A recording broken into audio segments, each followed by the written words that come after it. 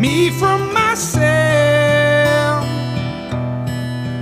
has been so long living in hell.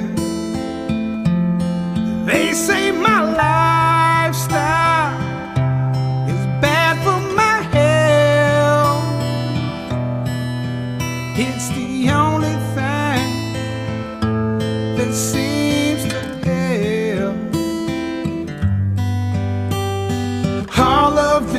drinking and smoking is hopeless, but feel like it's all that I need.